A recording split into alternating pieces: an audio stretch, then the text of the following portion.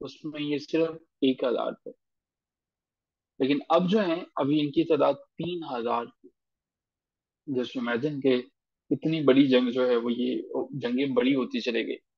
जंग अहद में कुरैश फौज के साथ जो है, जो उनका गार्ड थे जर बख्तर थे, जो लिबास था आहनी लिबास जो वो पहनते थे, उनकी तादाद भी अच्छी खासी थी। ये लोग सेवन हंड्रेड यानी कि सात सौ के करीब इनके पास जरा बख्तर थे। जिसको पहन के इन लोगों ने मुसलमानों के खिलाफ जो है वो बरसरे बेकार हुए, जंग शुरू हुई।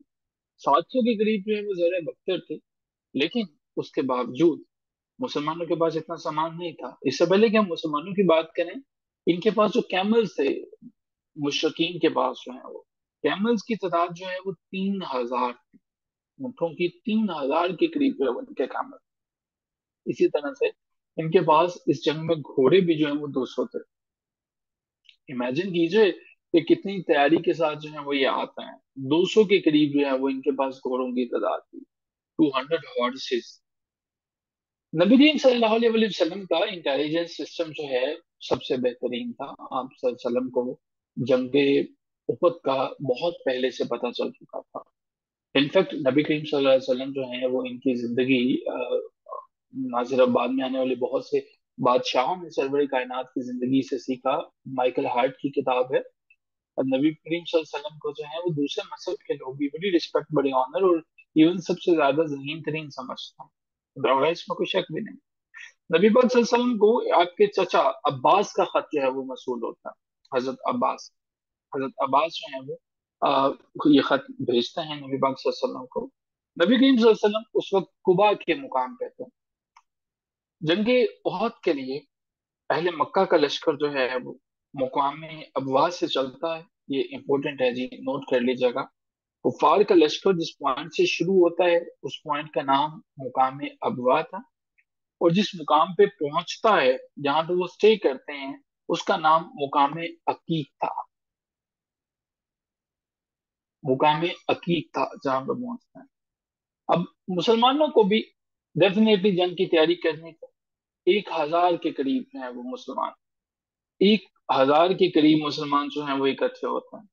और ये वही जंग है कि जिसमें अब्दुल्ला बिन अभी जो मुनाफिक था, अपने दोस्तों को लेता है और चला जाता है। वापस चला जाता है, लौट जाता है कि मैं वापस जा रहा हूँ।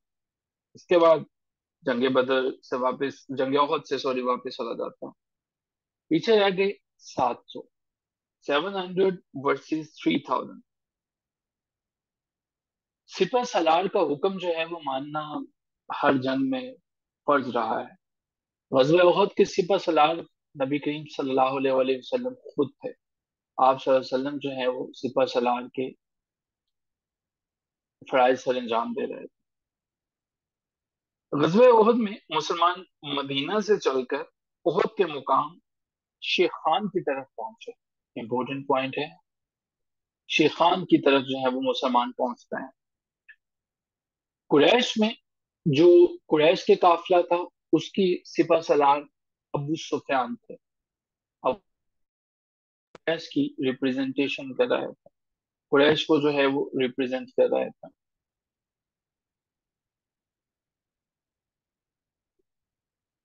हिंदा के अलावा जो अबू सुफियान की बीवी है, हिंदा के अलावा कुरैश की फौज में पंद्रह औरतें पंद्रह औरतें सिपाहियों के जज्बात को उकसाने के लिए जो है वो शामिल सो so, टोटल जो है वो सिक्सटीन वुमेन जो है वो इसमें शामिल नबी करीम सल्लल्लाहु अलैहि वसल्लम ने जंग से पहले आप ने ये कहा कि मेरी ये तलवार जो है वो इसलिए कि मेरे सहाबी जो है वो ये महसूस ना करें कि अगर किसी के पास जो है वो तलवार नहीं है सॉर्ड नहीं है कि नबी करीम वसल्लम के पास खुद तो तलवार है लेकिन आपने अपनी तलवार जो है, ये हमारे पास नहीं है। आपने ये अपनी तलवार जो है, वो बाहर निकाली और कहा कि कौन है जो मेरी इस तलवार का हक अदा करे, यानी कि कौन है जो ये तलवार लेना चाहे।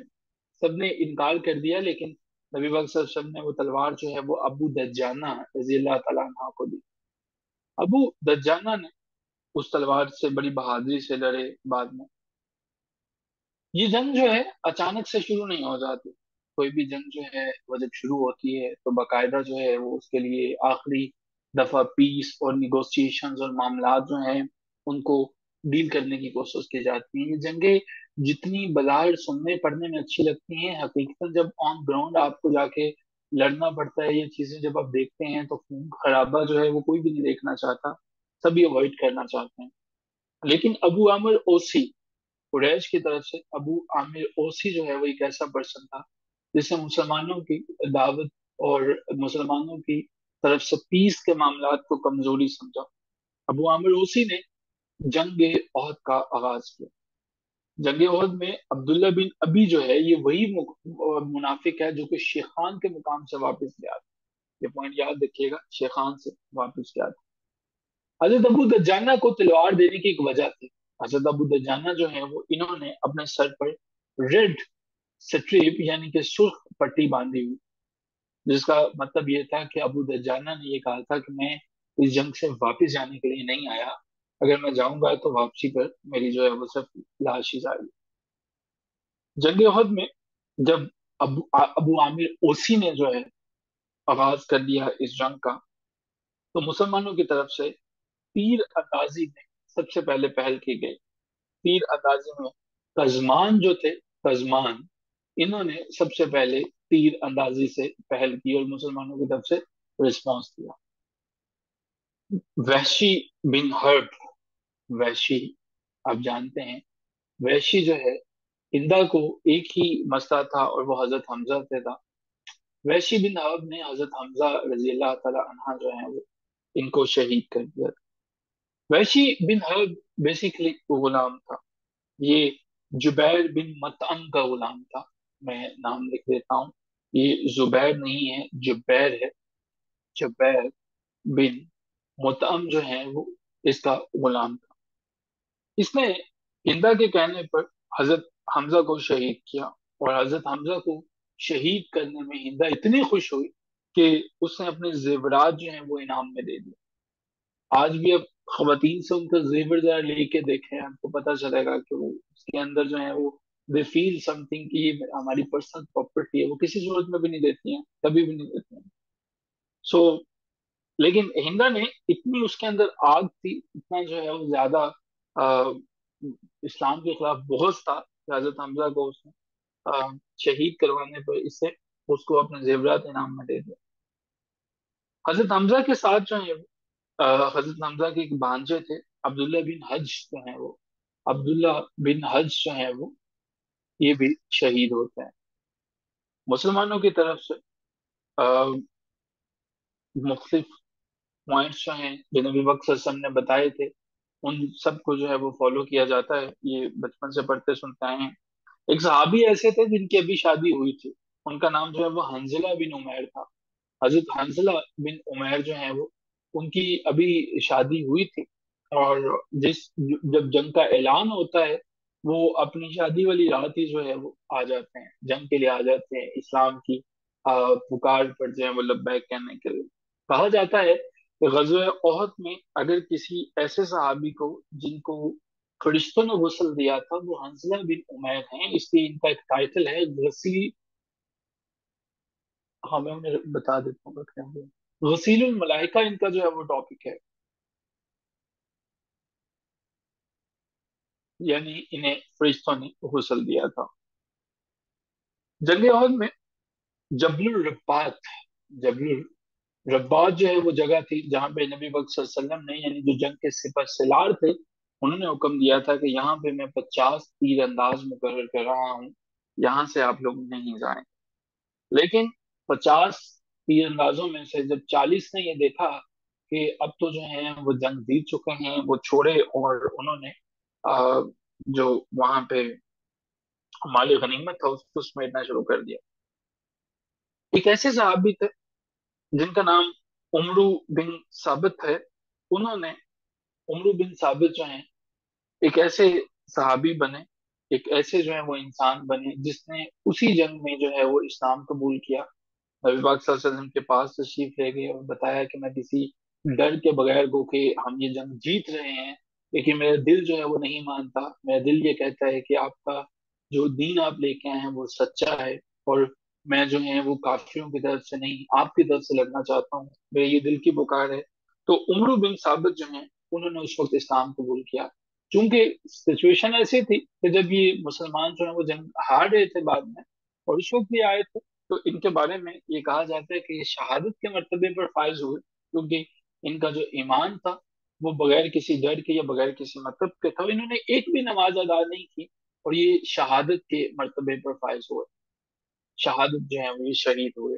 उमर बिन साबित एक ऐसे जो है वो सहाबी बने जिन्होंने एक नमाज़ भी अदा नहीं की, इस्लाम कबूल किया लेकिन ये शहीद जंग अहद में हज़रत मौसब बिन उमैर जो है वो मौसब बिन उमैर नबी करीम सल्लल्लाहु अलैहि वसल्लम से इनकी शक्ल बड़ी मिलती थी। बड़ी मोहब्बत करते थे बिन उमैर नबी करीम से, लेकिन शहीद हो जाते हैं। जैसे ये शहीद होते हैं, मुसलमान परेशान हो जाते हैं। मैंने कहा था कि जब सिपा सिलार जो है, वो खुदा न खास्ता नीचे गिरता है, ये जंग से चला जाता है तो सारी की सारी फौज जो है, वो अपना हौसला छोड़ देती है। हालाँकि सिपा सलार लड़ नहीं रहा होता, लेकिन उसकी मौजूदगी से ये ऐसे ही है कि जैसे मलका बरतानिया मरती है तो सारे के सारा बरतानिया परेशान हो जाता है कि शायद ये तो यूनिटी की अलामत जंग में नबी पाक वसल्लम की ये हज़रत मौसम बिन उमैर जो है वो इनकी शहादत जो है वो यूँ समझा गया कि नबी पाक वसल्लम की शहादत हो गई है। आपके गिर्द भी जो मुसलमान मौजूद थे द प्रॉफिट पीस भी upon him उन्होंने ये समझा कि नबी पाक वसल्लम जो है वो मौसम बिन उमैर हैं और जो मौसम बिन उमैर हैं वो नबी पाक वसल्लम है। आप वसल्लम के इर्द गिर्द जो सहाबी जो लड़ रहे थे जो जंग में दिफा कर रहे थे वो भी सबके सब जो है वो आ, उस तरफ़ चले गए कि जहाँ पे शहादत की खबर मिली। और आपके गिर जो है वो सिर्फ़ बीस के करीब कंपेनियन रह गए, बीस के करीब सहाबी रह गए। जंग अहद में जब कुफार ने ये देखा कि नबी वसल्लम के करीब जो है, वो लोग बहुत कम रह गए हैं, और जरा इमेजिन कीजिए, वो तीन हज़ार थे, और मुसलमान जो है, वो अब सेवन हंड्रेड थे, और सेवन हंड्रेड में से भी डेफिनेटली बहुत से मुसलमान शहीद हो रहे थे। कुछ जो है, वो माले गनीमत जो है, वो समेट रहे थे, चालीस के करीब जिनकी ड्यूटी जो है, वो जबल पे थी। अब्दुल्ला बिन कमिया अब्दुल्ला बिन कमिया जो है, एक ऐसा पर्सन है, ये आता है, ये नबी करीम सल्लल्लाहु अलैहि वसल्लम पर, तलवार के साथ जो है वो अटैक करता है, आपके चेहरे पर जो है वो हमला करता है। नबी वसल्लम जो है वो दिफा करते हैं और नुकसान नहीं होता, बच जाते हैं। लेकिन सहाबा कराम ज़्यादा गिरद नहीं थे, तलवार आपने अबू जाना को दे दी थी अब सिचुएशन जो है, वो कुछ मजीद यहाँ पे बिगड़ती है। इससे स्क्रीन शॉट ले लीजिए, हम अगली स्क्रीन बताना चाहते हैं। कोई लेके जाए डन दे ताकि हम अगली जो है वो स्क्रीन पर समझ जाए।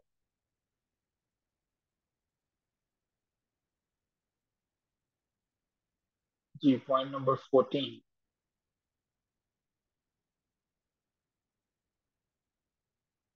स्क्रीनशॉट किसी ने लिया पहले मुझे बता दीजिएगा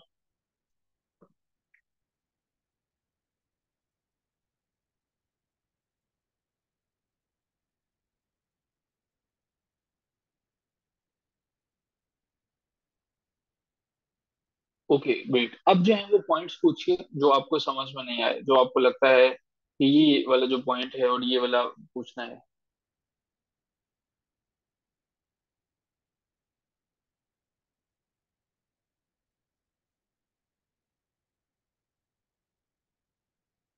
फोर्टीन नंबर पे मैंने बताया था कि मुसलमानों की तरफ़ से, यहाँ से कुफार की तरफ़ से अबू आमिर औसी ने जो है वो जंग का आगाज़ किया था। मुसलमानों की तरफ़ से कजमान ने जो है वो पहल की थी तीर अंदाजी से। इन्होंने जवाब दिया था अबू आमिर औसी जो है, जब उन्होंने जंग के लिए पुकारा था तो मुसलमानों की तरफ़ से जो है वो फिर तीर से पहले जवाब की गई थी। ठीक है? ये हमारे पास जो है वो ये वाला पॉइंट है। वैशी बिन हर्ब जो है, वो जुबैर बिन मोतम का जो है वो गुलाम था। हिंदा ने तो उसकी खदमात ली थी ना, जुबैर बिन मोतम जो है वो वैशी का असल मालिक था। ठीक है? वैशी बिन हर्ब जो है वो।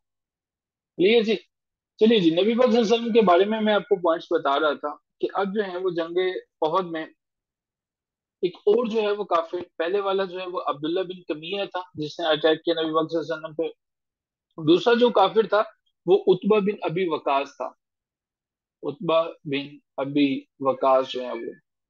अच्छा उतबा बिन अबी वकास जो है वो इसने क्या किया था? इसने नबी पाक वसल्लम के चेहरे पर इतनी ज़ोर से पत्थर मारा था कि आपने जो जरा पहनी हुई थी, वो जरा जो है, वो आपके चेहरे के अंदर उसकी कड़ियाँ जो है, वो पवस्त हो गई थी।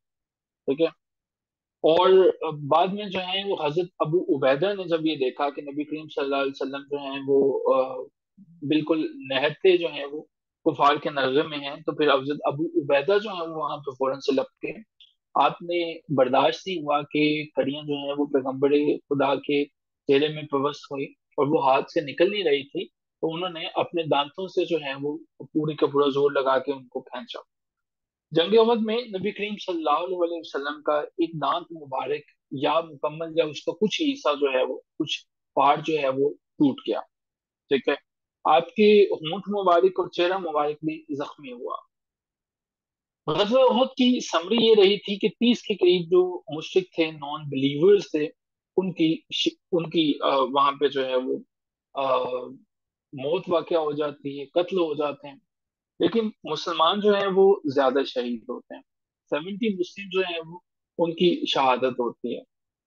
अब जो है गज़वा की शिकस्त की वजह जो है वो वजह जो है वो यहाँ पे माल था ठीक है? यहाँ पे जो है वो मटेरियलिस्टिक अप्रोच थी वो इसकी शिकस्त की वजह थी। और गज़वा की शिकस्त की वजह को अल्लाह ताला की जात ने खुद जो है वो बताया सूरह अल इमरान में।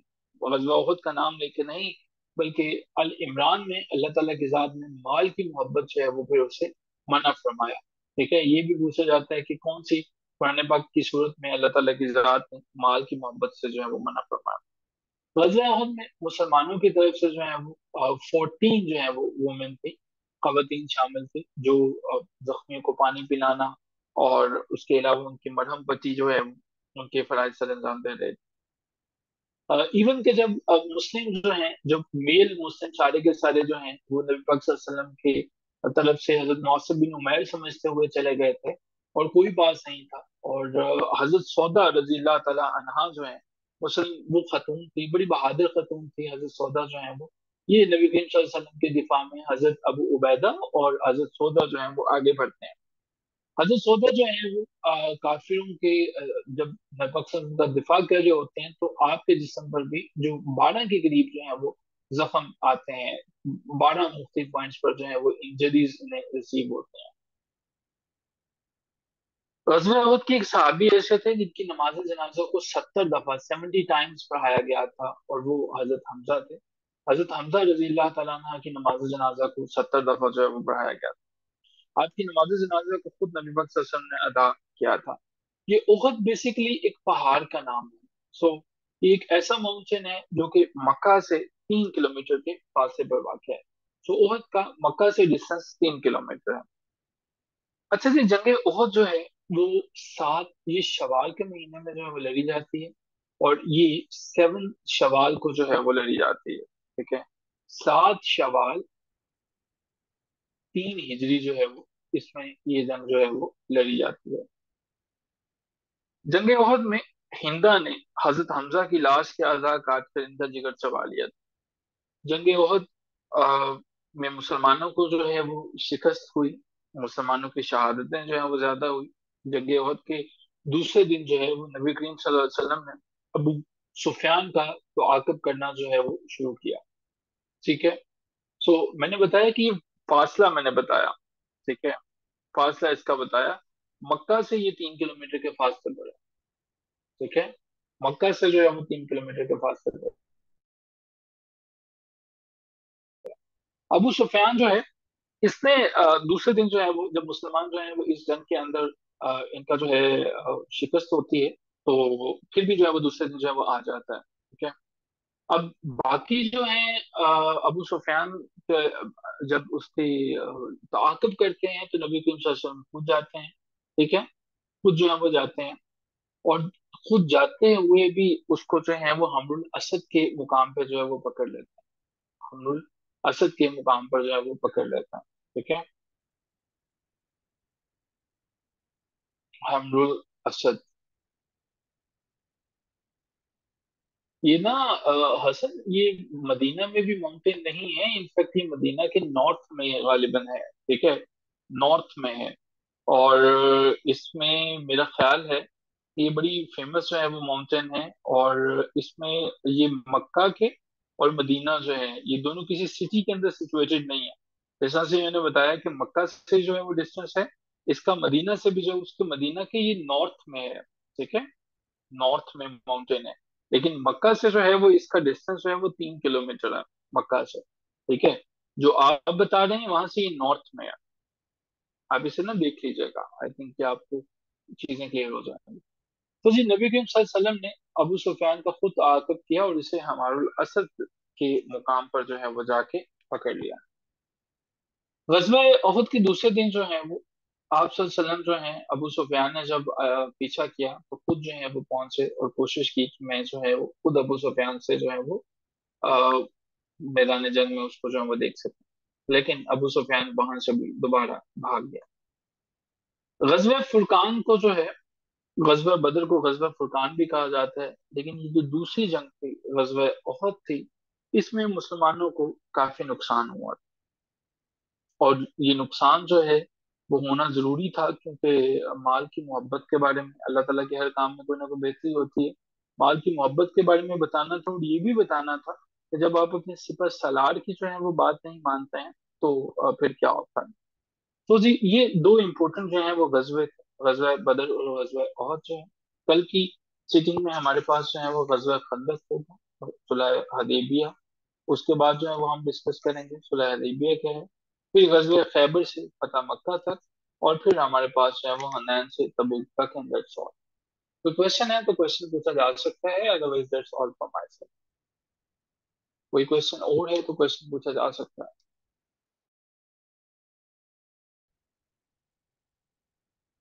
ठीक है? क्वेश्चन पूछा जा सकता है.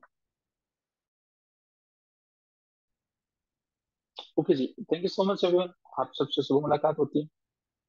ख्याल खेलना खुदा हाफिज